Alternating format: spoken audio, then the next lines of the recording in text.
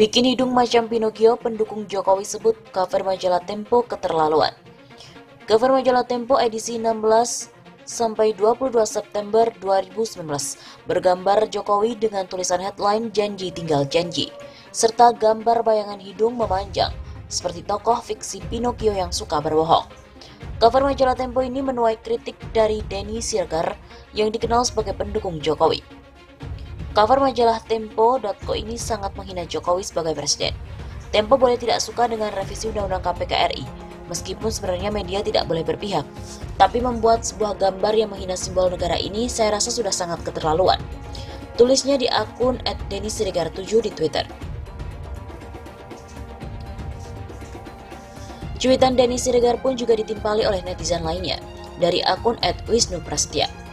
Media boleh dan harus menunjukkan sikapnya, apalagi berkaitan dengan hal-hal yang mengancam demokrasi. Yang kedua, Tempo tidak menghina Jokowi, ia mengingatkan Jokowi. Kemudian yang ketiga, buzzer seperti Anda itu yang merusak demokrasi. Dari akun Ed Henrika, bentar lagi Tempo akan disebutnya seorang Taliban, markas Kadal Gurun, terindikasi dapat dana dari ISIS dan sebagainya. Ya biasa seperti itu.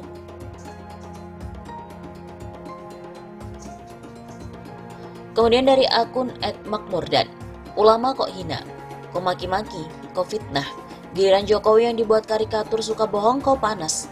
Takut nasi bungkus nggak dikasih ya Den?